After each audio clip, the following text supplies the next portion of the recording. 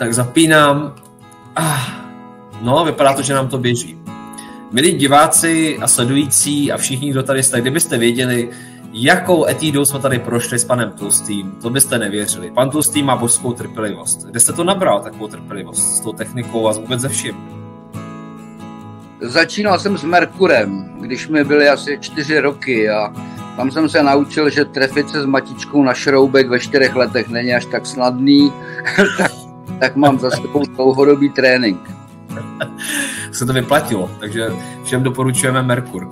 A my tady natáčíme dneska pro vás neformálně. Pan Vlastimil Tlustý byl nominován vámi v uzavřené skupině na Facebooku a on přijal pozvání, takže moc děkuji za to, že jste si udělal čas. A tento rozhovor je tedy na vašich otázkách. Vy tady máte připravené otázky, které vybírali lidé a nominovali je, takže věřím tomu, že vy dostanete všechny odpovědi, které chcete. Rozhovor můžete sdílet, moc vám děkujeme za sdílení, děkujeme také za komentáře a za odběr. Nemusíte úplně ze vším souhlasit, co tady dneska zazní, napište prosím svůj názor. My se budeme prát v uvozovkách o vaše právo nesouhlasit, vy se perte o naše právo to říci, o tom, na tom to je postavené. Ještě teda věřím, že i v příštím nebo i v tomto roce, že bude. To všechno uvidíme následně. A odkazy na mého hosta najdete dole pod tímto videem, můžete sledovat dál, samozřejmě pokud budete chtít navázat kontakt, máte tam vše, také tam najdete odkazy na tvorbu, na moje knihy, pokud by vás to zajímalo, tak děkuji moc za vaši podporu. No, eh, pane Tlustý, jak vy se máte, jak se vám daří, než se pustíme do otázek a jak vy reflektujete vůbec rok 2023? Jaký ve vás zůstává pocit nebo chuť?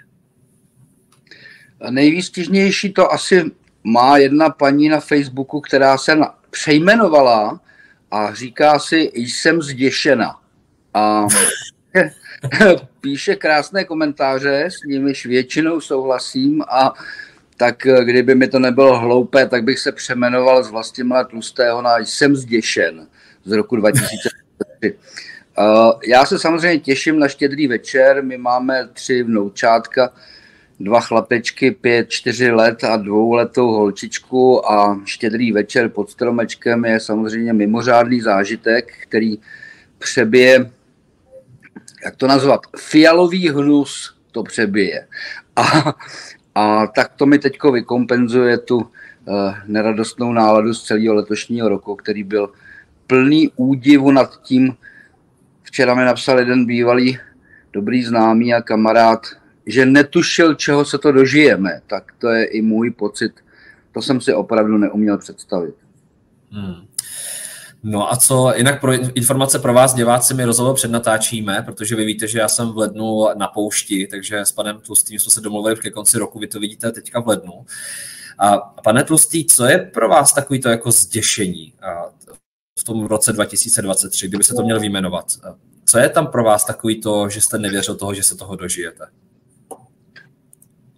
Tak eh, vemu to z pohledu občana. Největší zděšení je z té strašné inflace, která zničuje nejenom, domác, ničí nejenom domácnosti, ale i podniky. Jsme v tom jedni z nejhorších eh, v celém světě a s tím souvisí to, co to nastartovalo. Nastartovaly to astronomické dluhy našich dvou vlád, té současné a té předchozí. A pak, a to je asi to nejstrašnější a nejpřekvapivější způsob, jakým eh, se postavila současná česká vláda k cenám elektrické energie a plynu, protože to jsou ty nejvýznamnější faktory, které způsobují dnešní drahotu.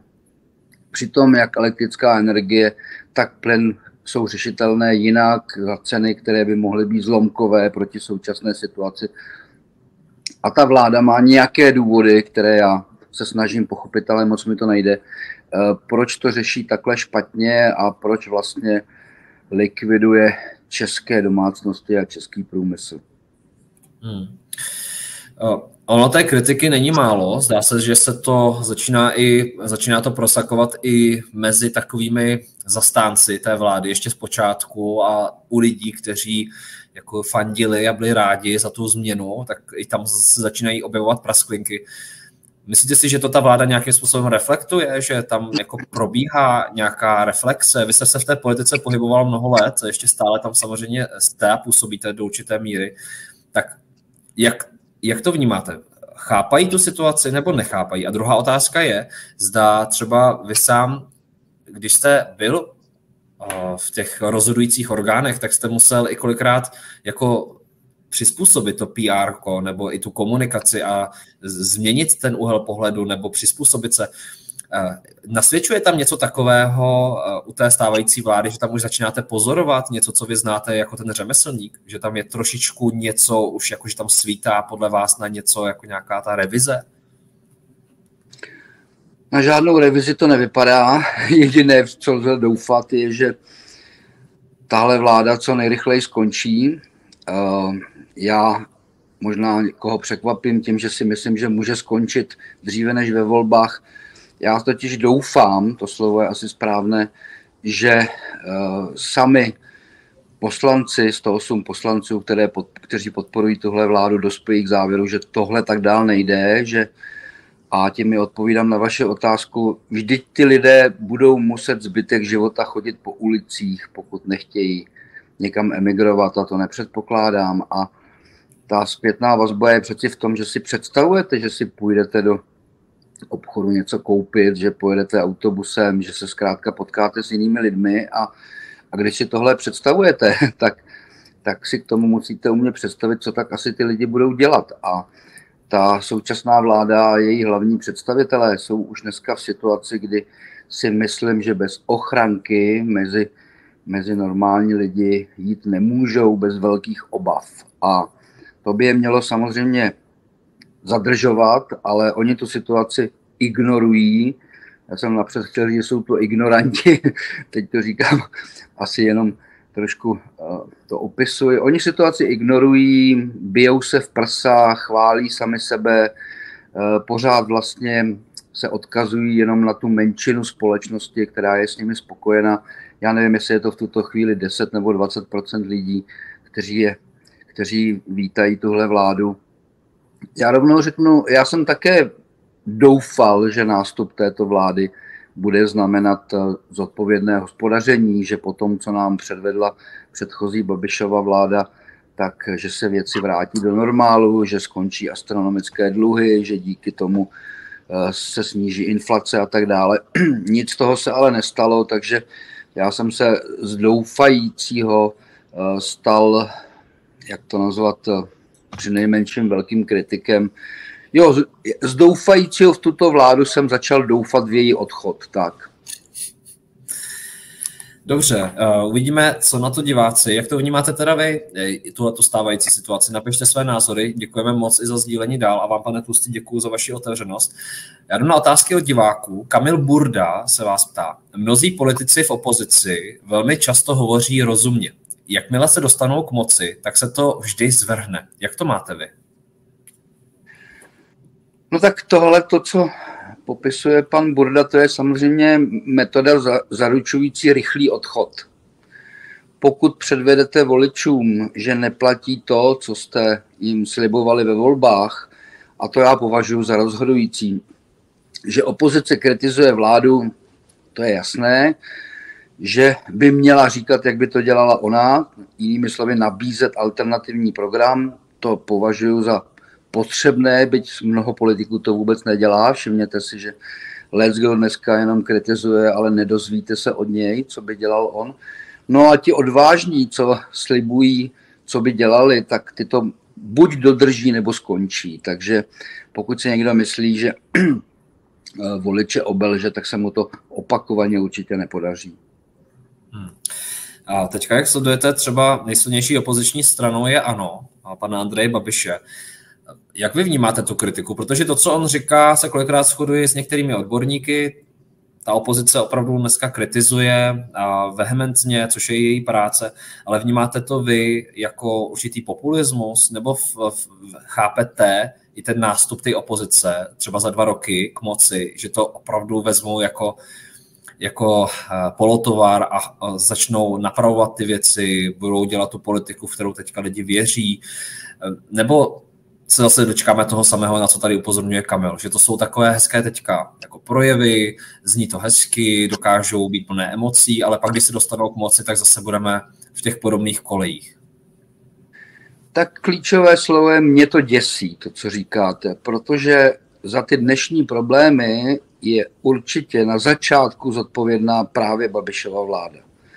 Byla to Babišova vláda, která pod záminkou řešení koronavirové krize zahájila ty astronomické dluhy. Přitom ze zpětných kontrol je dneska už prokázáno, že ty stovky miliard, které Babišova vláda vynaložila takzvaně proti covidu, ve skutečnosti byly proti covidu vynaloženy jenom zlomky, jestli je to třetina nebo polovina, není podstatné, ale větší část těch stovek miliard korun skončila kdo ví kde, s covidem to nesouviselo, zkrátka vsadili na velké utrácení. Já bych se odvážil říct, že z těch stovek miliard byla spousta vynaložena na nákup voličů, chtěli se zavděčit voličům, chtěli jim udělat radost a tak rozhazovali a rozhazovali a rozhazovali. K úspěchu ve volbách jim to nepomohlo, ale ty stovky miliard dluhu způsobily nárůst úroků ze státního dluhu, způsobily tu velikánskou inflaci, kterou samozřejmě potom rozvinula a přiživila Fialová vláda, to je ta, která v tom měla přestat, ale nepřestala. Takže pokud teď nám tady nápravu slibují ti, co zahájili tu katastrofu, tak to ve mně žádnou naději nevyvolává. Jsem, jsem z toho spíše šokován, že volič to takhle vyhodnocuje. Víte, v politice je jeden velký problém a to je, to je reakční doba. Mezi tím, když v politice nějaká vláda něco udělá a přinese to nějaký efekt, nějak se to projeví, tam jsou měsíce a roky té reakční doby. Přirovnal bych to ze zemědělství od chvíle, kdy zasejete do doby, než sklidíte, tak je dlouhá doba a já s úžasem a smutkem sleduji, jak to mnoho lidí nechápe a, a myslí si, že když vláda něco udělá, tak, tak příští týden se to projeví. To tak není. Babišova vláda začala velké dluhy před řadou let a vysokou inflaci toho způsobilo se spožděním. Přesně to tež se děje teď a já jsem používal a používám příměr. Babišova vláda zasela bodlák a ten začal být sklízen. Uh, Fialová vláda to vylepšila v tom, že toho bodláku zasila na mnohem větších výměrách, na mnohem větším území. Zkrátka a dobře, my teď kolem sebe na našich polích bychom mohli vidět, jak nám roste a zraje ten bodlák, který budeme sklízet a až lidé zjistí, že z bodláku se žádná dobrá mouka umlít nedá a, a žádný dobrý chléb z toho nebude, tak se obávám, že mnoho z nich to bude přisuzovat tomu, kdo zrovna, kdo zrovna bude u moci a ty lidé budou špatně chápat, že zase to bude, bylo už dávno. Trochu to na mě působí, jako že jsme v takových kleštích, že ty politické alternativy, které máme, nebo které jsou aspoň teďka hodně vidět a mají nějakou oblibu, co se týká voličů, takže vlastně z toho, co vyprávíte, nepřináší po té ekonomické stránce příliš pozitivního. Ať už je vyměníme za toho, či za toho, pořád je to, pořád je to ten samý druh nerostu. Tak jak vede cesta podle vás dál? Kam, kam bychom měli směrovat tu pozornost jako voliči a, a na co se zaměřit v tuto stávající dobu? Kritérium je dneska jednoduché. Dneska by lidé měli volit ty, kteří říkají, že takhle se hospodařit nedá, že pokračovat v astronomických dluzích není možné, že prostě každoroční dluh hospodaření státu v rozsahu několika set miliard korun už dál není možné, protože to je ten důvod, proč jsou na konci lidé obíráni tou inflací a vysokými cenami a naději, že by to mohlo skončit, je nutné hledat jedině u těch třetích. Prostě jedni jsou, jak se říká ve starém řečení, jedni jsou za 18 a druzí jsou bez dvou za 20. Uh, ani Fiala, ani Babiš nejsou ti, kteří by dávali naději, že by z toho dokázali najít cestu, prostě proto, že oni tu cestu zahájili a šli po ní. Tak když někdo předvedl, jak špatně hospodařil, tak přeci nebudu věřit tomu, že najednou se obrátí a začne, začne být tím dobrým hospodářem. Takže já vidím jedinou možnost v tom, že lidé pochopí, že to chce někoho třetího. No a teďka přichází ta otázka, a koho? A tak problém je v tom, že těch třetích je víc, jsou, jsou rozdrobeni. Podařilo se vlastně médiím vnutit atmosféru, kterou bych ze, sportovního prostředí přeměnil na Sparta versus Slávě, jako kdyby nebyly žádné jiné fotbalové týmy. Já si ze svého dětství pamatuju, že, že prostě to bylo buď seš Spartan nebo seš Slávista a a že existují nějaké baníky a Plzně a, a prostě jiné kluby jsem jako dítě nevnímal a já mám pocit, že současný český volič je na tom podobně, taky to má Sparta versus Slávě a, a nedaří se mu pochopit, že jsou i jiné dobré fotbalové týmy a že je potřeba se rozhlédnout a začít hledat, hledat pomoc u těch třetích. To znamená, tak jak tomu rozumím, že byste vy doporučil prostě se teďka nám, voličům a všem podívat na menší strany a dát jim šanci, prostě udělat tam ten průvan v tom parlamentu. Eh, ano, ano, přesně tak. Myslím, že jeden, jeden revolucionář ve Velké Británii přišel do parlamentu a pravil, sedíte tady příliš dlouho na to, aby se dalo očekávat, že ještě něco pozitivního uděláte. A, a tak já myslím, že pro představitele těch eh, Fialů a Babišů platí přesně to samý. Milí, poslan, milí poslanci a poslankyně, už jste nám předvedli, jak si to představujete, tak prosím pěkně, račte se odebrat mimo parlament. Tak diváci, jak to vnímáte vy, napište. A pokud třeba menší strany, tak které by to ve vašem případě byly, které byste volili? Kdyby jsme zakázali teda volit ty velké parlamentní strany v tuhle chvíli, tak komu byste vydali hlas? Jaké politické strany schválně znáte? Můžeme si udělat takový průzkum a můžete se podělit o své názory. Jinak, protože se to týká politiky, tak vám děkuji za, na, děkuji vám za vzájemnou laskavost. Nikdy opravdu nevíte, kdo sedí na druhé straně monitoru, proto prosím debatu bez prostých slov, urážek a osočování. Děkuji moc. A pane Tustý, ještě, ještě nám a mě vysvětlete, prosím vás. My jsme tady měli teda, teďka máme u moci, někdo říká slepenec, prostě a oni co si já ještě vzpomínám živé paměti, jsem v Praze chodil a tam byly billboardy, prostě udělejme tu změnu, jo, měl jsem z nich pocit, že sledují tu Babišovou vládu, že e, znají ty jejich nedostatky, že to, co vy tady vyprávíte, jak třeba i e, Babišova vláda rozhazovala peníze, to, co vy jste tady říkal, takže to oni potvrzovali a říkali, že to udělají lépe. Prosím vás, vysvětlete nám, jako občanům a mě, jako člověkovi, jak je to možné, že pak, když nastoupí k moci, že se to jeví jinak, tak já jsem roky třeba sleduju jeden film, budu sledovat jeden film, budu sledovat 30krát, budu o něm všem mluvit, budu říkat, že stojí za hovno a pak budu natáčet vlastní film a bude ještě horší. Tak eh, v čem to, v čem to spočívá? Je to podle vás, bylo to marketing, byla to jenom showman hra, nebo opravdu třeba něco zapochybovali, nebo jsme tak na ně vysazený? Jsme teďka na ně tak opravdu vysazený, že je nesnášíme, nebo, nebo Babiš to tak zařídil, aby jsme je nesnášeli. Kde se to vzalo? Jak se tohle to stane? Tak je prokazatelné, že to dělají špatně. Já bych použil příklad těch energií.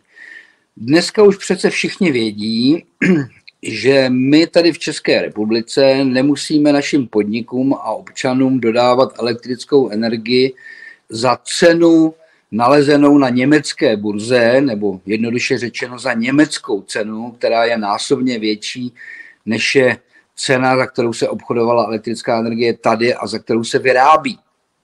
My si tady můžeme vytvořit svůj lokální trh s elektrickou energií, můžeme zakázat vývoz toho, co potřebujeme, jinými slovy, můžeme vyvážet jenom to nadbytečné a ta cena se může stanovovat tady a může se vrátit do prostoru polovina nebo třetina té současné úrovně.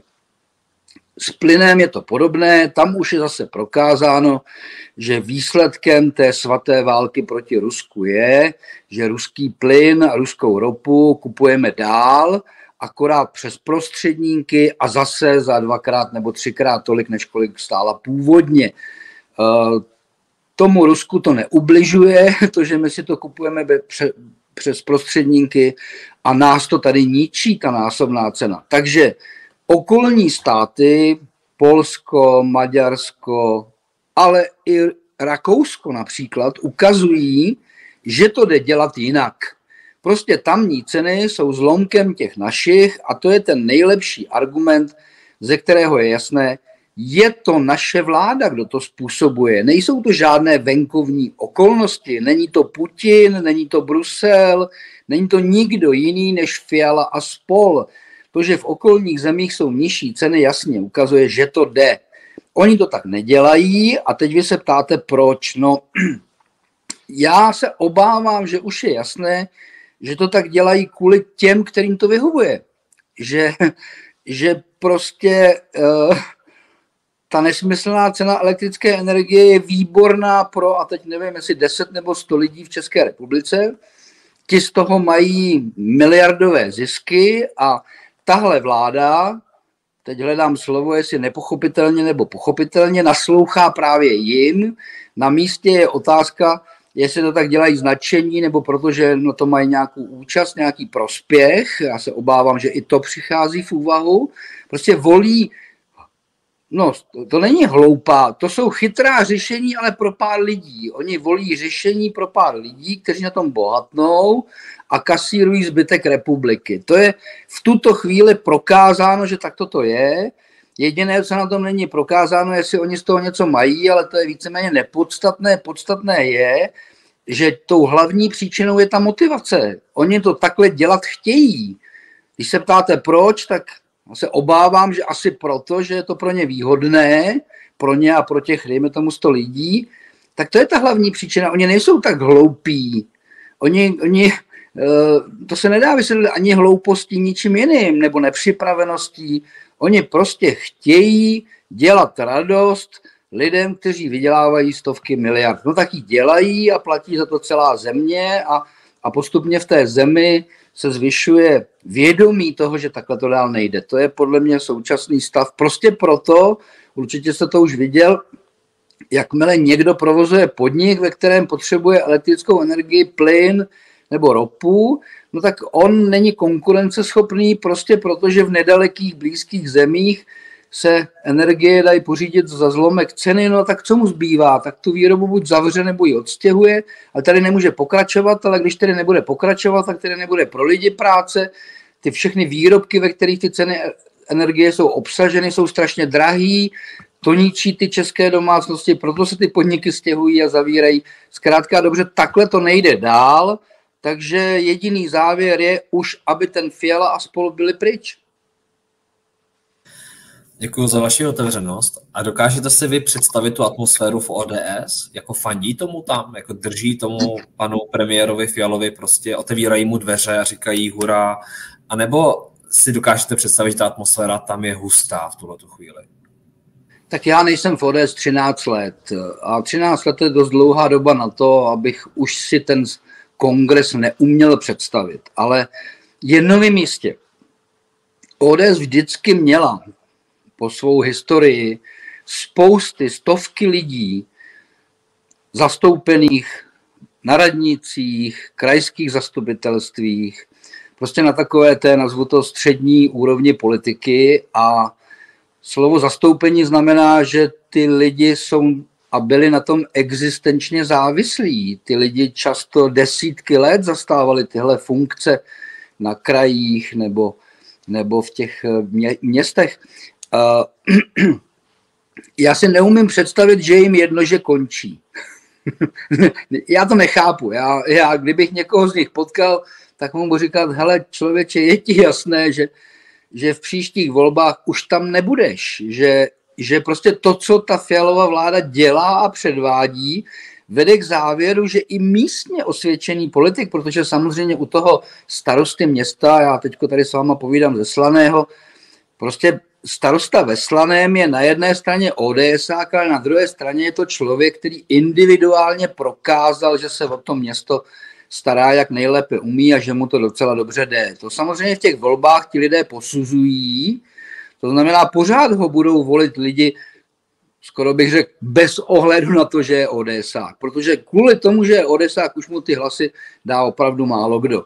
No a tihle ti lidé se sjedou na kongresu a budou rozhodovat o tom, jestli ten pan Fiala je vede k další prosperitě nebo k konci jejich existence a v tuhle chvíli je naprosto jasné, že Fiala vede ODS ke konci existence několika set těchto těch lidí. No a já bych skoro řekl, s jistou nadějí vzhlížím k tomu, že až se sejdou a budou se o tomhle radit, že nemohou dospět k jinému závěru, než zase použijí sportovní terminologii ručník do ringu.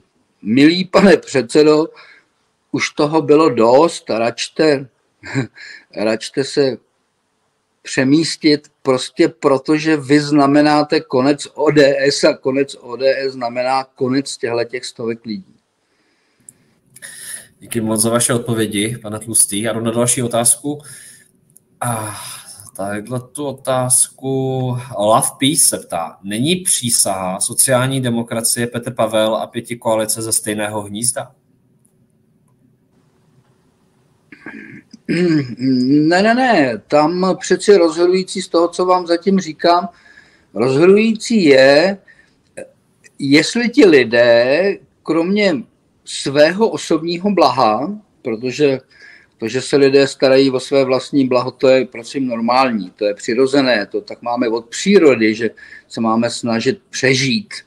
Uh, jestli kromě té vlastní obhajoby ti lidé mají taky nějakou myšlenku směrem k veřejnému prospěchu. To znamená, jestli přemýšlejí o tom, co udělat dobře v případě starosty ve Slaném pro slaňáky nebo pro celou republiku, takže jestli chtějí něco udělat dobře pro společnost, to je hrozně důležité a mezi dnešními politiky bohužel vidím spoustu těch, kteří zjevně tuhle tu složku vůbec nemají, kteří mají jenom to osobní blaho a ten veřejný zájem nějak u nich zmizel, tam není, ale pak, když už mají ten zájem něco dobrého udělat, tak musí také vědět, co. To znamená, musí mít ty, ty správné nápady, eh, co by se tak dalo dělat, aby se ta situace zlepšila. To znamená, jak to udělat, aby se elektrická energie obchodovala v Čechách za zlomkovou cenu, tak musí říct, jak se to má udělat, musí to umět zrealizovat. A ten člověk se ptá na, na jména lidí, u kterých eh, já myslím, že není pochyb o tom, že mají tu složku veřejného zájmu v hlavě, to je, to je důležité, tak my jsme si to u těch současných před, před volbami mysleli taky, ale ono se ukázalo, že tam, tam to zjevně chybí. No a potom, ano, ty vyjmenovaní lidé se liší těmi nápady, to ano, jedni budou říkat snižme daně a druzí budou říkat zvyšme daně, to bohužel tak je. No ale kež by se do české politiky vrátili lidi z nápady, kterými by soutěžili a ty příští volby by nebyly o tom, kdo se umí lépe usmívat a, a kdo někde něco vtipněji poznamenal. Volby vždycky mají být eh, soutěží nápadů, jak z té situace se dostat. Ty jednotlivé subjekty mají říct, jak oni by to udělali a ten člověk, je-li rozumný, tak nebude rozhodovat ten volič, myslím, podle úsměvu, ale bude říkat, tak tu naši káru zapadlou do bláta vytáhne snížení daní a ne zvýšení daní. Jo? Takhle by ty lidé měli přemýšlet. No ale ono o tom platí. Dokud ty lidé necítí, že je dost zlé, dokud si neuvědomují, že je potřeba tu káru z toho bláta vytáhnout, no tak holce musíme smířit s tím, že zatím rozhodovali podle těch úsměvů a to rozhodování taky podle toho vypadalo. Já jsem sledoval některé vyjádření různých blogerů a influencerů, kteří v prezidentské kampani do toho vstoupili, s, někteří tedy z výroky, že volí třeba právě pana Petra Pavla z důvodu toho, že hezky vypadá, že hezky reprezentuje. Myslíte si, že tohle je nějaký trend, který se prolíná a že to je opravdu jako na vzestupu, ten trend toho vzhledu, nebo to tady vždycky bylo, ten prvek té, té určité povrchnosti v těch politických volbách? Ano, uh, ono je to vlastně důsledek toho, že jsme žili v éře prosperity, že od roku 90 ještě tak před čtyřmi, pěti lety bylo evidentní, že každý rok znamenal zvyšování životní úrovně zlepšování situace. Přibývalo lidí, kteří se vlastně o politiku nemuseli starat, protože se měli dobře a, a tihle ti lidé, kteří se nestarali o politiku a vlastně nic nevěděli o těch názorech, ani je nechtěli znát, no tak se nemůžeme divit, že eh, volili podle atraktivnosti manželky toho či onoho. Jo? To, to k tomu prostě patří. Vlastně ono, teď tady říkám, že blahobyt vede k eh, povrchnímu pohledu na, na politiku. To by nám mohli objasnit historici, kteří sledovali vzestupy a pády mnoha říší. Mimochodem to je zajímavé, že ti, co procházejí do té fáze pádu, si to skoro nikdy neuvědomují, teprve ti jejich následníci jim potom umí popsat, proč tak špatně skončili a to začíná od Perzie přes Řecko, Řím a tak dále. Mně se teď vybavuje výrok nějakého prince z arabského světa, myslím, že je to, který říká, že on v životě prošel následujícími fázemi, že napřed byl chudičký kluk, žijící ve stanu někde na poušti z velbloudy a že to byla strašná doba, a že ta doba byla tak strašná, že jim nezbylo nic jiného, než se začít starat a přemýšlet a že, že se takhle začali starat a ta nouze je přinutila z toho nalézt východisko a, a dovedla je k současnému blahobytu. A že teď na svých dětech pozoruje, jak ten blahobyt vede k tomu nezájmu a, a, a že má strach, že ten nezájem je vrátí do těch stanů. Ale že je v klidu, že sice se asi ty jeho děti vrátí do té pouště, ale že pak zase přijde ta bída a ta bída přinutí ty, ty pokračovatele začít přemýšlet o tom, jak se z toho vyhrabat. Tak, tak já myslím, že teď to tady u nás začíná vypadat přesně tak, jak to ten princ nebo šejk popsal. Prostě ten blahobyt způsobuje nezájem o věci veřejné, no a ty věci veřejné se podle toho vyvíjejí. Hmm. Děkuji za, za vaše názory, že tady sdílíte, pane Tlustý. Eh, Love P se ptá, nemohl byste poradit přísaze, že by neměla dělat akvizici se sociální demokracií, za kterou stojí lobista a miliardář Jan Barta? A tak eh, ano, to jsem jim už dávno poradil a dokonce se mohu radovat z toho, že úspěšně. Žádná akvizice mezi přísahou a sociální demokracií se nekoná. Ona se nekoná z mnohem jasnějších důvodů a vlastně to zapadá do toho, co tady říkám. Když si položíte deset zásadních otázek dneška, řeknu jednu z nich, je pro Českou republiku dobrý nápad přijmout euro, nebo to není dobrý nápad. Jo? Tak když se takovýhle otázek položíte deset, tak zjistíte, že u sociální demokracie a přísaze, mezi přísahou a sociální demokracií je, myslím, prakticky ve všech těch bodech zásadní rozpor že ty odpovědi jsou vždycky na jedné straně ano, na druhé ne. Jinými slovy, tam žádná, jak to nazval tazatel, akvizice nepřichází v úvahu. Prostě nelze spolupracovat mezi subjekty, které se takhle zásadně odlišují, takže abych byl stručný, akvizice není a nebude prostě proto, že být nemůže. Díky. Další otázka pro vás. Majka Francu. Rozpadne se Evropská unie? Jak to asi bude probíhat? No tak jsme ve fázi, ve které se snaží udržet pohromadě za každou cenu. Eh, snaží se udržet tím nejjednodušším způsobem, který asi napadá správně. Oni se pokoušejí pod eh, záminkou Eh, ekologických opatření záchrany planety stáhnout do Bruselu mnohem více peněz, protože správně pochopili, a teď prosím, aby si naši posluchači představili nějaký film nebo pohádku, ve které projíždí král na koni a rozhazuje zlaťáky. A to je totiž moment, který posiluje postavení toho pana krále, protože dokud král může projíždět davem a rozhazovat zlaťáky, tak je oblíben. A přesně podle toho se chová Brusel, chápe, že jeho mocenské postavení je vlastně odvozeno od těch rozhazovaných zlaťáků. Je na tom docela zajímavé si všimnout, že oni rozhazují zlaťáky, které nám napřed sebrali, ale to si nějak ti lidé, co se ohýbají pro ty zlaťáky, neuvědomují. Jsou to vlastně původně jejich peníze. Jo? Ta, ta cesta, jak jim byly sebrány, ta je taková neviditelná, ale to, jak padají ty zlaťáky a cinkají na zem, tak to už je vidět. přesně tohle to si ten Brusel uvědomuje a všechny ty povolenky, to všechno jsou vlastně jenom nové spotřební daně na nejrůznější energie. Oni pochopili, že vysvětlit Evropanům, že si mají připlatit, aby Brusel mohl více rozhazovat, že to by nešlo, kdyby k tomu nebyla ta nádherná pohádka o té ekologii, o té záchraně planety. Je zajímavé, že lidé si neuvědomují, že 6% světového obyvatelstva svými nápady země kouly zachránit nemůže. Jo, my tady reprezentujeme Evropa 6% světového obyvatelstva, jak je to na plochu, to nevím, ale v každém případě jsme malá část země koule a my, když se tady byčujeme a zakážeme si spalovací motory, končí ve chvíli, kdy ty lidé to přestanou platit. Kdy jim dojde, že to je podvod, že vlastně jsou kasírováni jenom na to, aby byli ovládáni a ovládání jsou jenom proto, aby mohli být více kasírováni, že je to takové perpetuum mobile. No a jak dlouho to bude trvat, než to pochopí, no tak eh, já myslím, že někteří už to pochopili. Eh, vypadá to, že v některých zemích už je jim to jasné.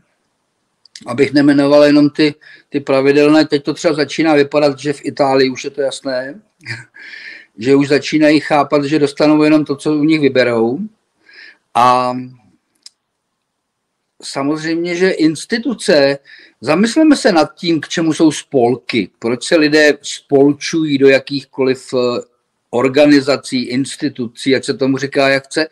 No přes spolčování lidí vždycky má motiv, že to těm účastníkům pomůže, že v té společnosti, v té instituci dokážete víc sobě ku prospěchu, ale i těm jiným ku prospěchu, to je důležitý všem ku prospěchu, to je spolky, ve kterých jedni kasírují, druhý, ty se většinou rychle rozpadnou, anebo se přemění na nějaké násilné spolky. Takže dobrovolný spolek může fungovat jedině, když, jedině, když všechny, všichni účastníci vidí, že je to pro ně prospěšné. No a teď přeci v Evropské unii vidíte nápady, že je snaha místo prospěšnosti to udělat povinné, že takové ty nápady jako zrušení práva VETA. Jo? No, no co to je zrušení práva VETA? Čem, co, co tím vlastně říkají, když říkají, zrušíme vám právo VETA? No oni tím říkají, my velcí víme, že vám mali, malým už se to často nelíbí a vy nám to bojkotujete, ale my vás chceme kasírovat,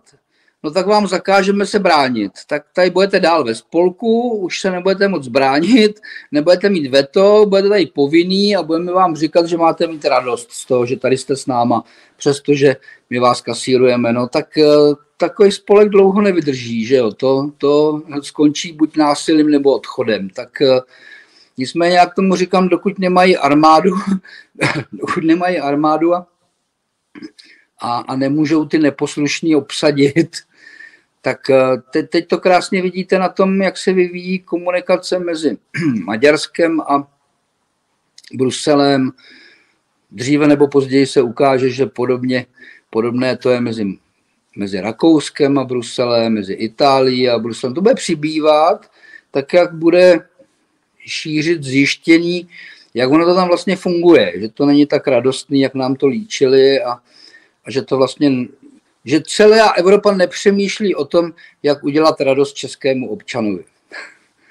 Dokud má český občan po, pocit, že v Německu od rána do večera přemýšlejí o tom, jak nám tady zajistit životní úroveň, no tak to tam budeme dlouho. Že jo? Jakmile převládnou lidé, kteří pochopí, že v Německu přemýšlí o Německu a o sobě a ne o nás, tak eh, tady začnou vítězit rozumnější názory. Jak vy se stavíte k tomu odchodu z Evropské unie? Teďka sleduju sociální bubliny, někde je potom vyloženě voláno, v jiných skupinách zase, že to je nesmysl. A i mezi kritiky se objevuje často takový názor, že by neopustili úplně Evropskou unii, spíše by ji reformovali, co se zase setkává s tou jako chutí Bruselu se reformovat, jestli on vůbec jako reflektuje tuhle tu svoji potřebu, třeba vůbec, právě naopak. Jak vy to máte? Je pro vás prospěšné pro Českou republiku odchod z Evropské unie a je to vůbec reálné? Tak já jsem přesně představitel té třetí cesty, která existuje a je jednoduchá, je, je ukázána vlastně chováním těch zemí, o kterých jsem mluvil. Pro mě to východisko je následující. Všechno rozumné a prospěšné, co v tom spolku pro nás vymyslí v tom Bruselu, hurá jsem s tím. Jakmile nám to škodí, tak my to prostě nezavedeme. Oni nemají žádné donucovací prostředky, jak nás přinutit, aby jsme tady přestali vyrábět spalovací motory. My, my je prostě nepřestaneme vyrábět. Oni nemají metodu, jak nám to nařídit, žádná evropská armáda na naše území nevstoupí. A aby to bylo nějak právně, tenhle ten můj přístup eh, brát jenom to, co se nám líbí a nebrat to, co nechceme, aby ten přístup byl legitimizován právně, tak stačí v ústavě v jednom článečku napsat, že české, český parlament může přehlasovat jakékoliv nařízení Evropské unie. Prostě český parlament může říct, my spalovací motory vyrábíme dál. Vy si tam v tom Bruselu říkejte, co chcete. Zastavení výroby spalovacích motorů v České republice znamená obrovské potíže této ekonomiky, spousty nezaměstnaných a tak dále a tak dále. My to prostě udělat nemůžeme, nechceme, je to pro nás škodlivé. My tímto sebevražedným způsobem planetu zachraňovat nemůžeme. Tečka, vyřízeno. V ústavě je napsáno, hlasování Českého parlamentu říká, tuhle směrnici my neberem, strčte si za klobouk. No a není to třeba, jako běžný člověk si pod tím může představit to, že třeba ta Evropská unie jako přitlačí, že, jo? že třeba řeknou, tak vy nechcete tohle, ale chcete jenom to, co vám chutná. Vy zlobíte. Tak nedostanete tady penízky na toto. Fuj, fuj, fuj. Funguje to takhle opravdu, nebo to je jen taková jako naše představa občanská? Eh, no, oni to tak říkají, ale to má jednu chybičku. Ty peníze, co nám posílají, nám předtím sebrali. To jsou naše peníze. Doby, kdy nám těch peněz posílali víc, než ty, které my jsme jim předtím poslali tam, ty jsou dávno pryč.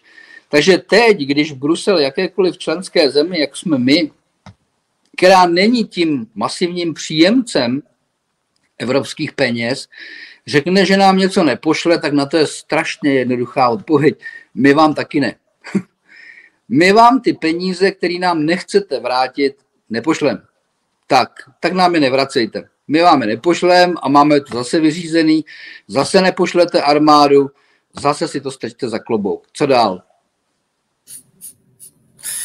Díky za vaši otevřenost. Jak to vnímáte vy, diváci, napište svůj názor do komentáře, díky a případně sdílejte dál, aby se zapojili další lidé.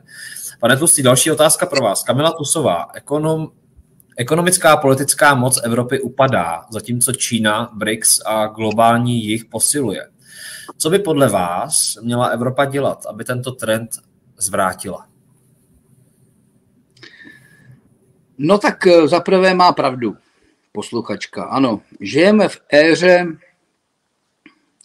úpadku říše evropské, bych to přemenoval. Říše evropská ekonomicky upadá. Proč upadá? No upadá, protože v ní zvítězil socialismus, řík, nebo neokomunismus možná dokonce. Uh,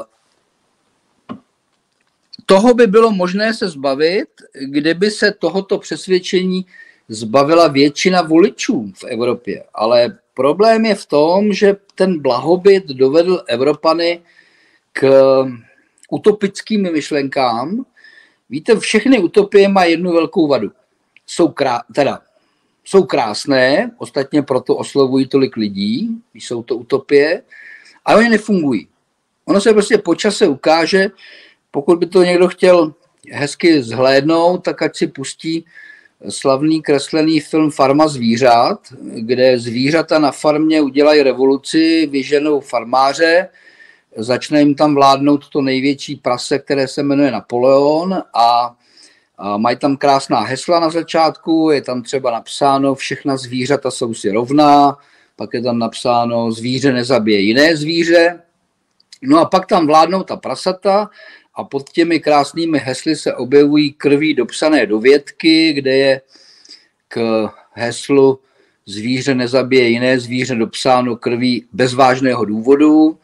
a pak všechna zvířata jsou si rovna, je tam napsáno, některá jsou si rovnější, no tak to jsou důsledky těch utopií, prostě ta zvířata tam uvěřila něčemu, co nefunguje, ono se to projevuje, že to nefunguje, no a jak končí farma zvířat, je jasné, vyženou, vyženou vládnoucí prasata.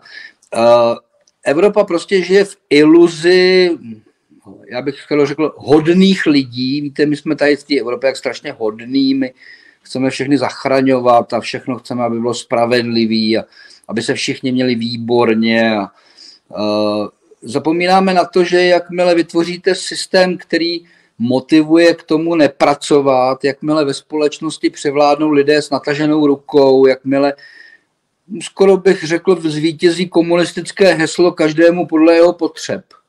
Tak eh, jakmile tohleto tu společnost ovládne, tak ta společnost přestane být produktivní, přestane vyrábět z úplně jednoduchého důvodu.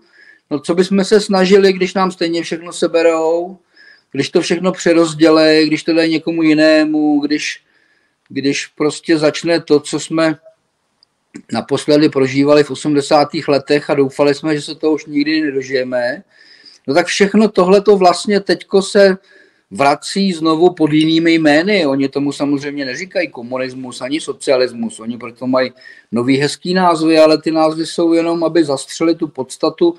Podstata jsou myšlenky komunistický a socialistický a ono to vlastně nefunguje a fungovat nebude, takže úpadek bude pokračovat. No a když se ptáte, jestli to skončí, no tak skončit to může, když dostanou lidi rozum, no ale pak to může skončit jako ve všech těch eh, zánicích říší různých. Prostě i, i, i tahle říše může ekonomicky skolabovat a zhroutit se přesně stejně, jako se zhroutilo RVHP a zhroutila se Varšavská smlouva. Prostě ukázalo se, že ty idealistické myšlenky nebyly realizovatelné, nebyly peníze, nefungovalo to. Tehdy Rusko nedokázalo eh, ve zbrojním vývoji a výrobě konkurovat západnímu světu, no tak eh, se rozpadlo. Tak eh, to samé se může stát Evropské říši, pokud otázka směřuje k tomu, kdy, to se nedá předpovědět. To jsou procesy, které vzhledem tomu, o jaké obrovské celky se jedná, to jsou procesy, které trvají roky a desetiletí a jestli v tomto případě to nějak dopadne spíše za roky nebo za desetiletí, to neumím odhadnout. Díky za vaši odpověď, pane Tlustý. Stanislav Domanský, byl jste prezentován jako ekonomický poradce Trikolory a nyní přísahy. Z jakého důvodu jste změnil stranu? Již radíte? Uh, já se tady pokouším. Jasně, v pohodě. Já vám to klidně přečtu znova. Eh, ne, nevadí, já se tady pokouším nějak, na, můžu ten telefon na, naležat to, nebo musí stát takhle? Když bude stát, no můžete to zkusit i naopak, jestli chcete. Já vám ještě řeknu, jak to vypadá, jo, kdyby to bylo blbý. Když já vás tam mám zůru nohama teďka. No to je blbý, teda. Pane to je blbý, tak počkejte, tak takhle naležat to, jo. Takhle, to je dobrý. Co tam, jak, co tam jak císař trochu, no. Jak Napoleon jste, teďka běží v kine. Ano, já, já vím, já to vidím, že to je blbý. Ne, ale jako vypadá to dobře, to jako zase, jako zase tak imperátorsky to nevypadá, tak jako hrozitánsky. Maria, jsem tady co vysypal. Čekejte, Vy taky máte domácí studio, jak já koukám. Uh, taky to máte všechno toaletním papírem podložený, ne? Ano, ano, ano, přesně to říkáte. No. Počkejte, počkejte, tak teď. Jo, hele, teď jsem tady nějaký, nějaký náhradní vzhled. A co vy teď, líbí se vám tak, jak pan Tlustý sedí? Já myslím, že dobrý. Dobře sedíte. Ukažte. Jo, je to dobrý, jo, možná trošičku si měte... Jaj, no teďka jste nám spadl úplně. Doufám, že ne vy, jenom telefon. Uh, jenom telefon mi tady padá, protože... Počkejte, teď... Aha, tak teď se to zhroutilo všechno. Vy to tam máte postavený z nějakého lega, ten váš stojan. Hele, to je dobrý, tak první klouček jsem udělal. Teď jsem tam něco těžšího. Máte napínavý lidi, co? Tady při další otázku, odpovědí. To je, na, to je na, Ale... to tady děláte na schvál, to napínáte. Dobrý, jako ne, to je dobrý, můžeme pokračovat. Můžete, super. Tak já vám to ještě zopakuju. Chvilka napětí byla, jako, že jste se chtěli vyhnout skoro otázce, to vypadalo. Jo. Tak já vám to přečtu znova. Byl jste prezentován jako ekonomický poradce Trikolory a nyní přísahy. Z jakého důvodu jste změnil stranu? Již radíte. Uh, já jsem asi použil blbou intonaci, jo. Ne, ne, asi... ne, to je úplně v pořádku.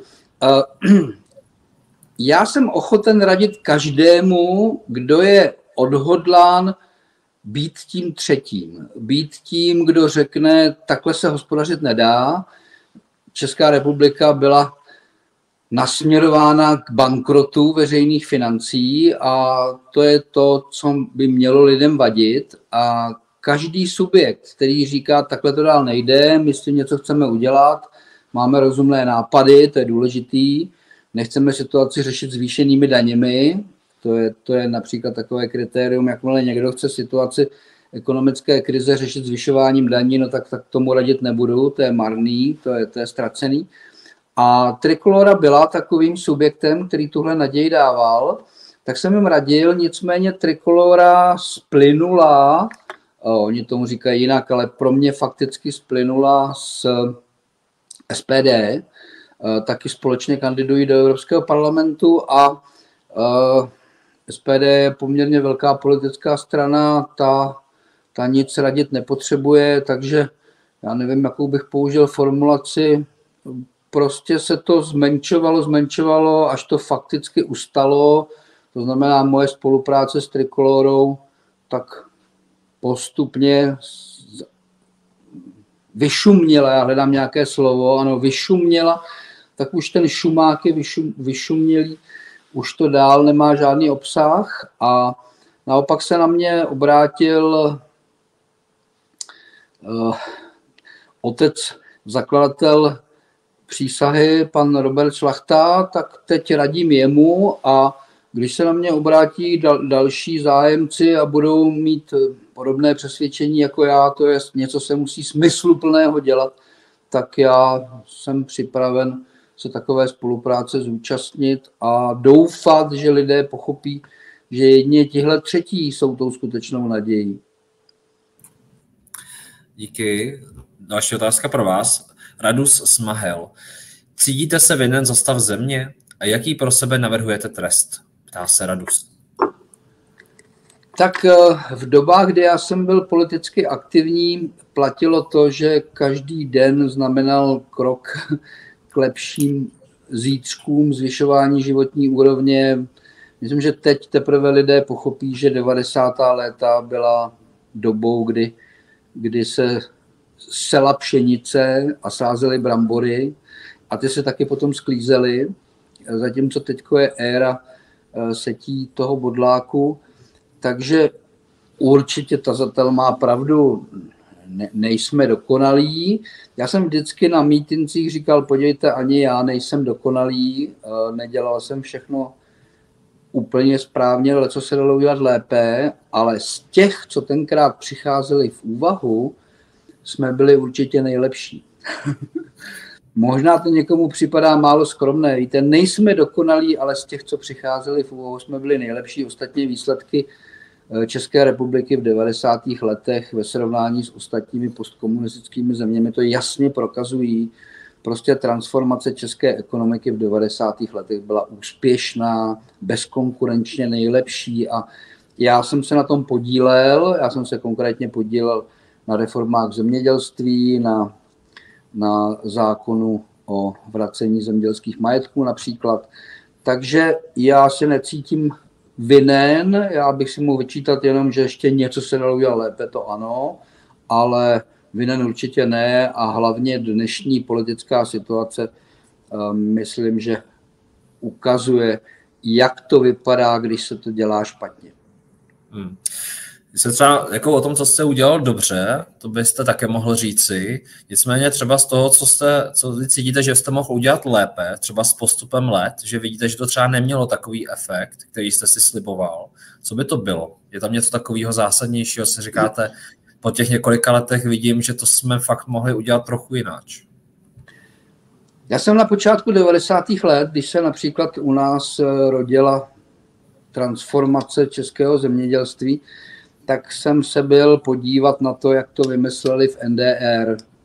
A tenkrát jsem nepochopil, pochopil, že oni jako zásadní kritérium při vracení majetků a privatizaci měli, že ti noví majitelé museli povinně převzít dluhy těch podniků, který brali do svého vlastnictví. A tehdy jsem to nepochopil a teď už chápu, jak důležité to bylo kritérium, protože těch, co něco chtějí, těch je moc. Ale těch, co jsou ochotní jít z kůží na trh, co jsou ochotní říct, tak já tady spolu s pěti kamarádama převezmu JZD Rudý Žien, ale musíme si rozdělit těch 150 milionů dluhů, který to má. Pro každého z nás to dělá 150 děleno 5, 30 milionů. Všechno, co máme, musíme dát do zástavy bance, eh, nebo ještě musíme dokonce najít pět dalších, aby to nebylo, aby to nebylo těch 30, ale jenom 15. Tak tohleto kritérium, že k majetku byl umožněn přístup jenom těm, co dali tu kůži na trh a řekli ano, já dám do zástavy ten svůj dům a pak se stanu tím spolumajitelem, tak tohleto kritérium, to tady v české transformaci používáno moc nebylo. Ano, někteří lidé, když něco kupovali, jak si brali úvěry a, a museli dávat majetek do zástavy, ale jako nosné kritérium prokaž, že jsi správný budoucí vlastník tím, že převezmeš ty staré dluhy. To u nás nebylo zdaleka tak silné jako v té NDR a to si myslím, že například byla chyba. Hmm. A to, když ty firmy třeba měly nějaké dluhy, tak to šlo kam? To se nějak jako sfouklo a tehdy, nebo co se s tím udělalo? Eh, tam nebylo to osobní zajištění. Uh, oni ty dluhy tam byly dál, ale byly to dluhy těch společností nebo ne, ten člověk, který se stal spoluvlastníkem, nemusel dát do zástavy vlastní dům. To bylo prostě, kdysi banka poskytla, v tom Německu ten rozhodující faktor byl, ty ve chvíli, kdy se stáváš spolumajitelem firmy, který má dluhy svým majetkem, musíš dozajistit ty dluhy. To je tam ten rozhodující okamžik. Ty dluhy nezanikaly ani u nás, ale ti naši noví vlastníci nemuseli vstupovat do toho závazku svým vlastním majetkem. Hmm. Jo, tak díky za vaši otevřenost. Co si o tom myslíte vy, diváci, jak to cítíte? Jak to na vás působí? A já na další, další otázku. Viktor Hervik, jak jste postoupil ve vašem šetření hmotných i nehmotných vládních darů pro Ukrajinu? Ta se Viktor. Uh, oslovili, oslovili jsme příslušná ministerstva, dostali jsme odpověď, tu odpověď jsme svěřili právníkům, kteří zkoumají jestli ta odpověď je skutečnou odpovědí a máme tady prozradím, co ta odpověď zhruba říká. Ta odpověď říká, že Česká republika darovala bezplatně, to znamená zadarmo, eh, nejenom zbraně, ale i prostředky a tak dále, ale že tyhle ty dary jsou vykompenzovány dary, které my dostaneme. To je taková docela zajímavá vágní odpověď, která ale z hlediska právně, práva musí být doobjasněná, protože to, že někomu něco zadarmo dáváte a nemáte proto právní oporu, to není, to není vykompenzováno tím, že máte slib, že vám někdo jiný něco dá. To není, to není náhrada té ceny, jednoduše řečeno. Ten ústní slib, že vám někdo něco dá, ten tu cenu nenahrazuje. A Dneska jsme ve stádiu, kdy je prověřováno, jestli je to výslovně uvedeno v těch smlouvách. Jestli v těch smlouvách je, že místo toho, aby jsme dostali peníze od, tak nám ty peníze ve správném rozsahu dá někdo jiný. A pak už to začíná být docela jednoduché. Buď to v těch smlouvách tak to je, exaktně popsáno, a pak je to v pořádku, anebo to v těch smlouvách takhle není a pak to v pořádku není. A pak samozřejmě z toho vyplývají další kroky, ale když bych to řekl jednoduše, jsme v procesu zkoumání, pokročili jsme a mně ta odpověď, kterou jsme zatím dostali, připadá jako docela nadějná k dalšímu zkoumání, protože z toho, jak jsem si to prostudoval, to ve mně dělá dojem, že to je pouze ver- verbální slib a že to ty bezplatní převody vlastně nepokrývá. Uh, to je docela zásadní jako informace. To, to, jo, víte, nepřipadá vám někdy, že to právo funguje tak, že jako čím níž jste, tím víc musíte mít každou smlouvu úplně jako do tím plichu, totálně neprůstřelnou. A čím víc jste, takže prostě se tam něco plácnete. To je jako to objednávání těch Pfizerů, že jo, těch uh, vakcín, že jo. Ona si psala SMS má s týpkem, tak to jako sjednali za ty miliardy. Teďka my tady máme závazky v Evropské unii. Já to říkám jako selsky jednoduše, přátelé, neberte mě za slovo, ale asi chápete. A jako, že tam si prostě domluvějí něco jako, že dostane Česká i ty peníze, to jsou, to jsou peníze daňových poplatníků, ne? To, co tam bylo posíláno. Ano, uh, máte pravdu, prostě slova, slova jsou jedna věc a paragrafy druhá. To jsou zásadní odlišnosti a my jsme teď v tom stádiu, že nás samozřejmě zajímají ty paragrafy, to, co já jsem tady eh, říkal, to je hypotéza. Já v tuto chvíli z toho taky neodvozuju žádné závěry, to nejde. Eh, je to prostě v procesu zkoumání. Ano, máte pravdu, že si někteří politici asi myslí, že se to dá ukecat, abych použil lidový pojem, ale ono se to moc ukecat nedá. Prostě buď to v těch smlouvách máte uvedeno do souladu s platnými zákony a odkazy na příslušné paragrafy, anebo to tam nemáte. A, a když to tam nemáte, tak máte problém, protože spravujete cizí majetek. On taky příslušný trestný čin případný se jmenuje porušení povinností při správě cizího majetku.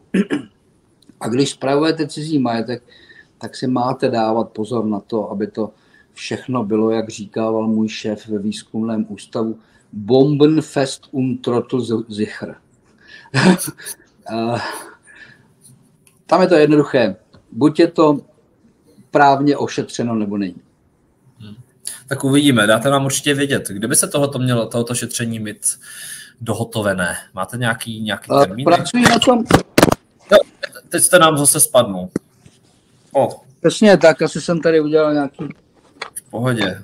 Máte říct něco zásadního, máte říct zásadní informaci, to se tak děje v tom vesmíru, že to takhle jako... Uh, to je pro efekt. Asi to zavibravalo.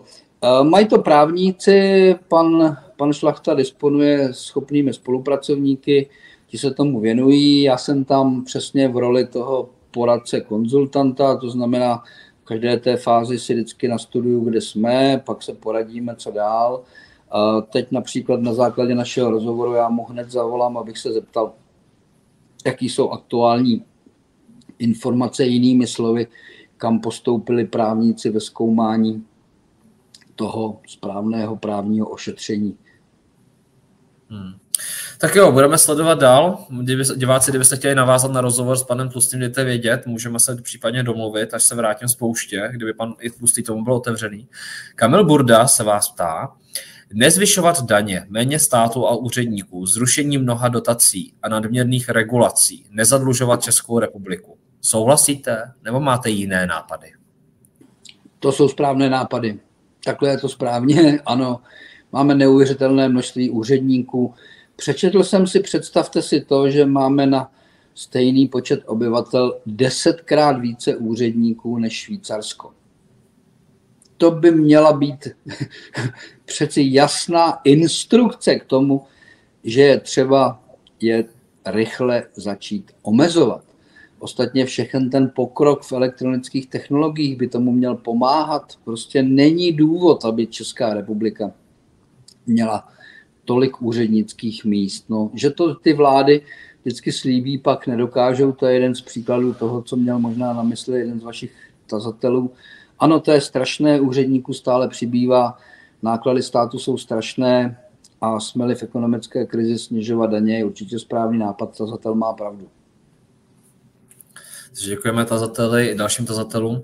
Radka Hulačová, zajímal by mě, kdo dovolil prodat naše vodovody a kanalizace, navíc velmi nevýhodně. No, to je historie stará 30 let a tak si dovolím zaspomínat, protože Milá paní tazatelko, to bylo jinak. Vodovody a kanalizace nebyly v privatizaci prodány. To je velký omyl, když to někdo takhle se ptá a je vidět, že to je rozšířený omyl, vodovody a kanalizace byly přeměněny na akciové společnosti a akcie těchto akciových společností byly za korunu nebo bezúplatně, to už si nepamatuji přesně, předány městům a obcím v poměru podle počtu obyvatel, kterým ta společnost eh, dodávala vodu. Takže vlastníky vodovodů a kanalizací se staly města a obce. Staly se jimi proto, že my jsme si tehdy správně mysleli, že řídit ty podniky mají ti, kteří odebírají tu vodu, neboli pro které ty podniky slouží. Takže tam nebyli žádní soukromí vlastníci. Nikomu to nebylo prodáno, nikdo si to nekoupil, začala to vlastnit města a obce. Ale, a tam už ten termín prodáno je správný, pro mě naprosto nepochopitelně města a obce prodali ty svoje podíly těm soukromým společnostem. Takže to nebyl stát a jeho tehdejší vlády, které by něco udělali špatně, ty to udělali dobře. Dlouhou dobu poté, to trvalo asi 10 let, odhaduji, masově mnoho měst a obcí své podíly prodali soukromým společnostem a druhá věc pro mě zcela nepochopitelná, ti, co to odstátnění vodovodů a kanalizací tehdy na počátku 90. let vymýšleli, dokonce podmínili převody do soukromých rukou souhlasem ministerstva zemědělství. Ty prodeje obcí a měst do rukou soukromých společností nebyly možné, pokud to neodsouhlasil minister zemědělství. A tehdejší ministři zemědělství mám pocit, že za sociální demokracii pro mě zcela nepochopitelně, totiž nesociálně, odsouhlasili, že města a obce prodali podíly soukromým společnostem. A v mnoha případech potom si to zase ta města kupovala zpátky, myslím, že například tady u nás ve Slaném se to stalo. Nicméně to, kam směřuje dotaz, tak eh, je k současné situaci, kdy se ukazuje, že to, že vodovody a kanalizace nevlastní města a obce, do kterých dodávají, že to není dobrá varianta a, a správně se proti tomu protestuje a já jsem se teď pokusil vám vysvětlit, že na počátku 90. let tohle bylo správně předpokládáno a byla zvolena metoda, která tomu měla zabránit, ale pozdější vývoj to bohužel převrátil. Hmm jsme na toto téma dělali rozhovor s panem Radkem Novotným, který se hodně zasluhuje o to šíření povědomí o této situaci, tak diváci, však mrkně tady na rozhovor, byl tady na YouTube, taky jsme natáčeli. Pane Tlustý, to tedy znamená, že, jestli to správně chápu, že tehdejší starostové, když se řekne město, kdo je to město? To byly tehdy teda starostové. Zastupitelstva a starostové. Zastupitelstva a starostové, kteří se do, s tím ministrem teda domluvili a schválili a pak to šlo. Takže to je vlastně otázka ne třeba koncentrované jedné osoby, ale třeba desítky, stovky lidí. Kteří, ano, uh... ano, máte pravdu. Oni tehdy, můžeme to tak pojmenovat, oni tehdy dali přednost okamžitému výdělku před zastupováním občanů. Oni měli zastupovat občany a měli ty vodovody a kanalizace zřídit tak, aby dobře sloužili a oni dali přednost okamžité platbě, kdy najednou ve svém rozpočtu se objevily miliony nebo desítky milionů korun od té soukromé společnosti, které to prodali. Oni ty peníze krásně a rychle utratili, vysvětlili svým spoluobčanům, že je to výborné, že něco postaví a zapomněli jim říct, že ty občané za to budou v budoucnu drazet a dlouhodobě platit. Hmm. Tak jak to vnímáte vy diváci? Napište, když tak. Jestli jste o tomhle tam vůbec věděli, jestli jste to tušili, jak to tady říká pan Tlustý, nebo je to pro vás novinka. Co se s tím dá dělat, pane Tlustý? Zase odkupovat zpátky, ale to už teďka musí být drahý, ne? Jak to, jak to teďka si dokážete představit tu nápravu? Ano, tam, tam není jiná možnost. Je to soukromý majetek, a když je něco soukromý majetek, tak to můžete jedině koupit zpátky a můžete samozřejmě přemýšlet o tom, jestli takovému postupu napomůžete nějakými zákony a tak dále, umožníte nějaké takové výkupy, z jakých podmínek. Určitě určitě si to není možné představovat jako komunisté, že přijdou a seberou to. Jo? To, to možné není, ale eh, cesta zpátky vždycky existuje, ale je určitě drahá, to jste poznamenal správně, je to cesta za peníze. Nicméně, že by to mělo být tak, jak to kdysi bylo vymyšleno, to znamená, že by vodovody a kanalizace měly vlastnit města a obce, tak to jsem si jist, že tak to mělo být a má to tak být. Hmm. Díky za vaši otevřenost. A poslední otázka pro vás, Petr Foukal. Jak se vám zamlouvá chování a vyjadřování Pavla Novotného na veřejnosti jako výrazného reprezentanta ODS? No, já jsem s tím člověkem párkrát v životě mluvil, takže, takže mám na něj uh, názor z osobního kontaktu. Víte, on patří k lidem, a takových lidí já znám víc, uh, u kterých uh, nevím, jestli je to šílenec nebo génius. Jo? A těhle lidé střídají tyhle okamžiky, kdy, kdy máte pocit, že to je jedno nebo druhé. Jo? A ani tak nezáleží na poměru. Myslím, že mám mezi těmi známými lidi, kteří z deseti případů jsou devětkrát šilenci a pak jednou géniové a pak jsou i v obrácení, kteří jsou devětkrát géniové. A já rovnou řeknu, že jsem vždycky s takovými lidmi byl ochoten komunikovat s vědomím toho, co jsem právě popsal, to znamená, když se s takovým člověkem setkáváte, je třeba co nejrychleji pochopit, ve kterém tom režimu se právě nachází. To znamená, jestli to bude spíše racionální rozhovor o nějakých dobrých nápadech, anebo jestli to bude eh, záchvat nějakého, nějakých emocí a, a šílenství. No, um, on je nepochybně člověk, který dokonale pochopil, že v médiích se prosadíte jedině jedně s mimořádnými zprávami a událostmi. Jinými slovy, on s médií a bulvárem zvláště pracovat umí perfektně. Já tím říkám, že si myslím, že některé ty jeho projevy, které by jinak asi byly zařazeny do kategorie šílenství, eh, jsou, myslím si, vypočítané právě na ten mediální efekt. To znamená, dělá to proto, aby zaujal a že to někdy přežene, no tak to je jasný. Docela to vypadá, že někdy to asi není až tak promyšlený a že to spíš už patří do té kategorie toho šílenství. Moje hodnocení je, že jemu osobně to dělá reklamu a jemu to prospívá. On díky tomu je v řeporích eh, odvážím se říct, že úspěšným starostou, aspoň zvenku to tak vypadá, že, že tam starostuje v pohodě. Jemu osobně to prospívá, eh, ODS to jednoznačně škodí. To znamená, on uh, tím, co dělá, určitě u průměrného voliče ODS žádné body nezískává, spíše, spíše ODS poškozuje.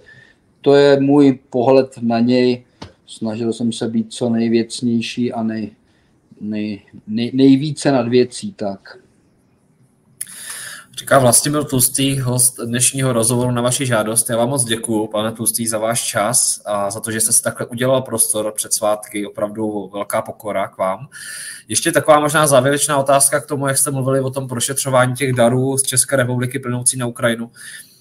Nějakým způsobem se to jeví, že v roce 2024 jsou více nakloněni i příměří nebo vyjednávání lidé, kteří původně se stavili eh, opakovaně proti Rusku, že je potřeba válčit, bojovat.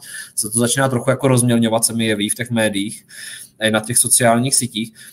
Eh, na Ukrajinu bylo posláno nejenom mnoho peněz, dá se říct, eh, ze státního rozpočtu, dary a také vznikly určité neziskové organizace v České republice, které začaly vehementně podporovat právě Ukrajinu v této době. Myslíte si, nebo takhle, eh, zeptám se tak, co jsem zaznamenal v jedné sociální diskuzi. Je tady nějaký válečný stav, je tady válečný stav, země zautočí na jinou zemi, teďka se to začne všude prostě řešit, Evropa se do toho zapojila a začne se pomáhat když jsem běžný občan a začnu třeba, dejme tomu, spoustu lidí mohlo začít podporovat, ať už humanitárně, nebo opravdu posílat peníze, nebo podporovat tu politiku pana Petra Fialy, která se jevila jako pojďme proti tomu, pojďme pomoci Ukrajině. V té době vysvětlete nám, vznikne tam nějaký určitý třeba dozorčí orgán nebo prostě něco, co by garantovalo to, že když teda Rusko je skorumpované, Ukrajina je skorumpovaná, vévodí tabulka, ta korupce je tam vysoká. Teďka ty, ta pomoc těch dobrých lidí, dobrosrdečných, může jít opravdu jako z toho záměru pomáhat. A existuje tam nějaký orgán, který by říkal, hele, to si nebere ten ukrajinský oligarcha, to se tady nekrají ty politické strany, to se tady prostě neberou do kapes a neposílají si to někde na vily. Je tam něco takového, nějaká garance pro lidi.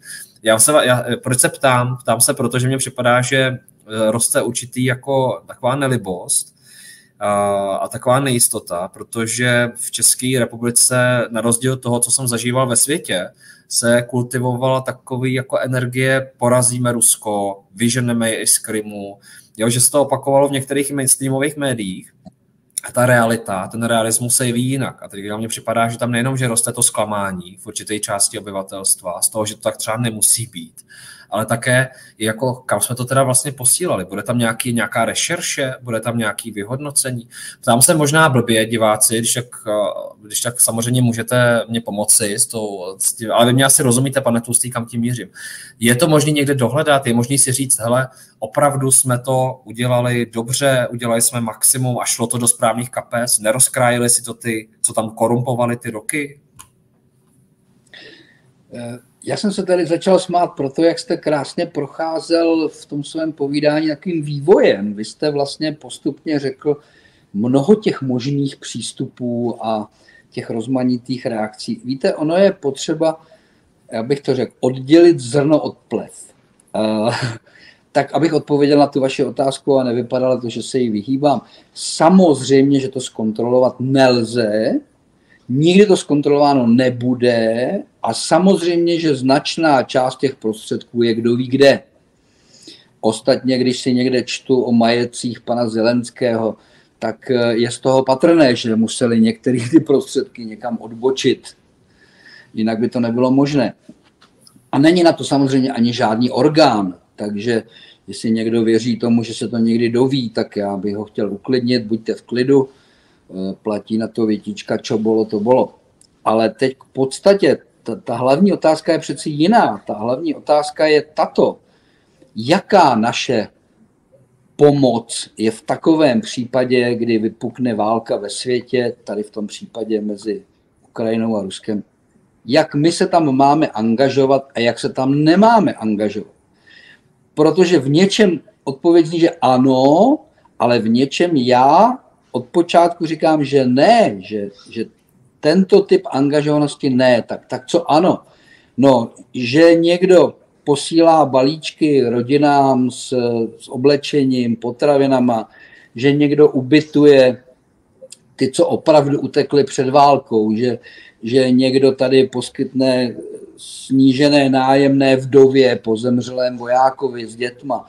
To všechno ano, ano, ano, to, to je správné to je humanitární pomoc, to je zmírňování následky toho konfliktu, to je v pořádku, lidé jste hodní, že tohle děláte, to je naprosto správné, to je lidské, tak to má být.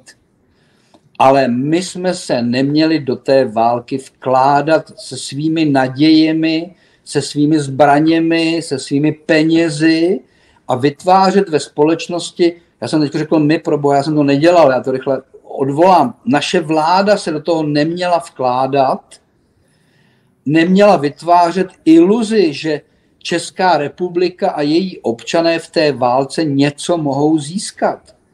Proč, proč jsou války? Protože někdo chce získat něco, co má ten druhý. Jaká je odpověď na otázku, co mohla v té válce mezi Ukrajinou a Ruskem získat Česká republika a její občané? Já říkám, že nic nic získat nemohla, neměla se těšit na vítězství ani jednoho, mohla se těšit na rychlé uzavření příměří a míru, o nalezení té hraniční čáry, o tom, aby relativně blízko od nás nepokračovala válka a neumírali tam tisíce lidí. To všechno ano, ale Česká republika se v tom neměla účastnit. Neměla tam posílat zbraně, neměla tam posílat peníze a hlavně neměla vytvářet iluzi, že Česká republika tam něco vyhraje. Teď už je přeci jasné, že Česká republika tam nic nevyhraje. Já když já pozorně čtu různé, různé experty, poslouchal jsem pana Andora Šándora, kterého osobně znám, a ten řekl, a já myslím, že to je krásné, přesné vyjádření. On říká, je mi to hrozně líto, ale je přeci jasné, že Ukrajina Rusko neporazí.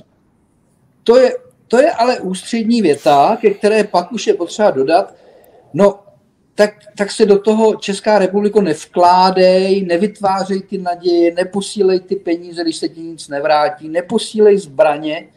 Já jsem kdysi někde v nějakém médiu dokonce řekl, že když mezi sebou válčí kijevský Rus, to je původně byla kijevská Rus, možná to lidé nevědí, to je vlastně historický základ ruského státu, je kijevská Rus. Když někde válčí kijevský Rus s moskevským Rusem, já se do toho nevkládám. S ničím, ani nadějema, ani penězma, ani očekáváníma. Teď to se tam odehrává tisíce let, nikdy jsme se toho neúčastnili, proč by měla být Česká republika a její občané do toho vtahování?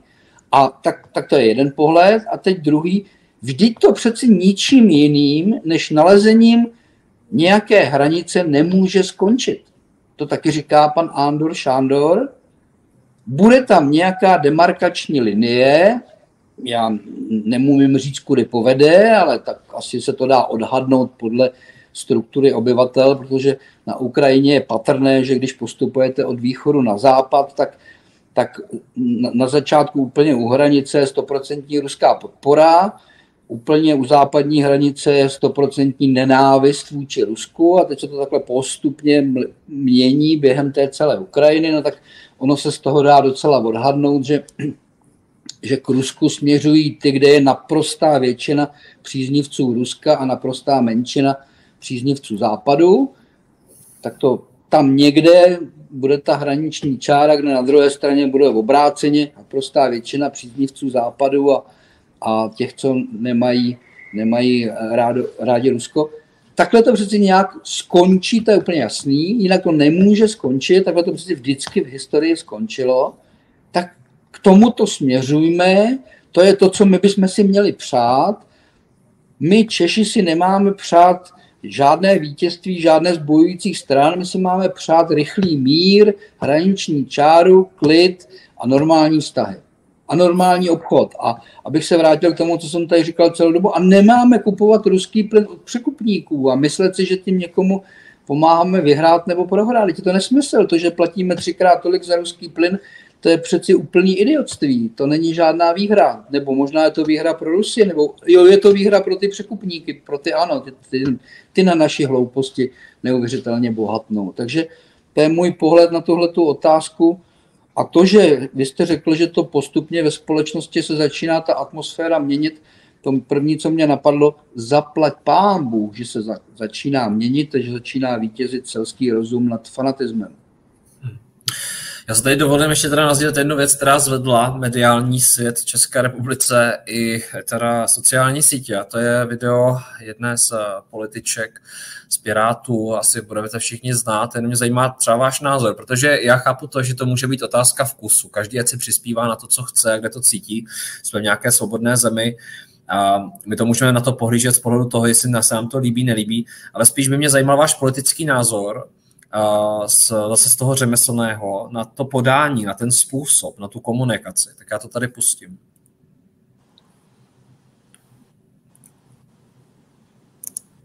Už máte dárky pro děti? A co pro Putina? Stihneme vybrat do Vánoc na helikoptéru pro Ukrajinu? Létající Česmír. Přidejte se. Takže velmi, velmi krátké. Nevím, jestli to bylo dobře slyšet. Uh, pane Tlustý, slyšel jste? Ano, já jsem to i viděl v originále a... Už se to možná dokonce někde komentoval, nejsem si tím jistý, ale eh, je tohleto vlastně ve výbavě toho politika spojit Vánoce, otázka, která začíná, eh, máte už dárky pro děti na Vánoce a co pro Putina? Ví, Jak to na vás... Víte, je, no? Já tady řeknu to samé, jako jsem končil ten komentář k té válce, zaplať pámbu, že ty lidi mají tyhle nápady. Uh, víte, volič už všechno ví. Jo, teď už pardon, volič už všechno ví. Teď už ví, kdo je ta paní, co se tak asi odehrává v její hlavě. Uh, ano, bude, určitě budou lidé, kteří za to nadšeně budou volit, no a, a pak bude spousta lidí, kteří už jí nikdy hlas nedají. A tak je to správně. Jo? Uh, politik má být volen na základě vědomí lidí, že vědí, koho volí. Tak, tak tuhle paní už vědí, koho volí. Kolik bude jedněch nebo druhých, to nevím, ale, ale je dobře, že se nám takhle projevila. Uh, já jsem teda viděl další video, nebo to byla fotka, že Čestmír byl sestřelen a že je potřeba poslat druhého Čestmíra. No, to, to všechno jsou ilustrace, které říkají něco o těch lidech a já to vítám, protože si myslím, že lidi mají volit vědomně na základě informací. Komu se to líbí, má to mít, komu se to nelíbí, ten ji volit nebude. Takže mě, mm, to je můj ústřední názor k tomu. Dobře, že nám to tam dala. Děkuji za dnešní rozhovor, pane Tlustý, jak říkám ještě jednou za váš čas. Vám diváci děkujeme za pozornost, dejte nám vědět, jak se vám to líbilo, co si z tohoto odnášíte. Případně nám napište své poslední názory na dané situace nebo na to, co jsme tady si povídali. Samozřejmě jsou vítány všechny názory, tyhle, tyhle, tyhle. Jenom děkuji za nějakou zájemnou laskavou debatu. A odkazy na pana Tlustého máte dole pod tímto videem. Také tam máte odkazy případně na tvorbu, pokud byste chtěli podpořit sami sebe i tento, tyto druhy vysílání a relací, tak je tam možnost. Děkuji vám moc za, za vaši přízeň. No a pane Tlustý, máte vy ještě něco k závěru, co byste doplnil, co vám ještě vybíhá? Já, co máte na začátku říkal, já jsem na začátku říkal, jak se těším na štědrý večer, tak předpokládám, hmm. že takových lidí je veliká spousta, že pro ně ten štědrý večer pod stromečkem, pod stromečkem z dárečky je takový mimořádný okamžik v roce, eh, kdy vítězí nejenom pozitivní myšlenky, ale i, i taková no, sounáležitost, to nazvu, nejenom s rodinami, ale i, s ostatními lidmi, tak já všem přeju, aby tenhle ten krásně štědrý večer je, je oslovil, aby, aby na, aspoň na chvilku zvítězil zdravý rozum, aby, aby jsme se chovali rozumně. Já často postrádám selský rozum svého dědečka, víte, kdyby lidé se koukali na život tak prakticky jako naši předkové, tak by mnoho blbostí bylo směšných, nemuseli by se vůbec ani komentovat, takže lidi zlatý, mějte se krásně, hezký Vánoce a co nejlepší příští, rozu, eh, příští rok, pokud vemete rozum do hrstě, tak by to nemuselo být ani tak špatný, jako byl ten eh, rok letošní, ale budlák zase je, tak, tak pojďme si vyhrnout na to odhodlání a rukávy a nenechat ty věci tak, tak blbě, jako jsou teď. Pane Tlustý, vy máte, vy máte jasnost, zřivost, vy už totiž přejete do roku 2025 a zároveň přejete k Vánocům 2024. Protože jsem říkal na začátku, před natáčením, tak nám aspoň diváci napište, jaký ty Vánoce jste měli a jestli se vám podařilo dosáhnout toho, o čem pan Tlustý tady povídal. A pokud se vám to nepodařilo na Vánoce, tak pojďte to kultivovat dál každý den. Teďka v lednu, v únoru, v březnu. Takže nakonec se z toho povedlo udělat krásný závěr, pane Tlustý. Vidíte to. Takže děkuji. Děkuji za pozvání, mějte se hezky. Mějte se taky, děkuji.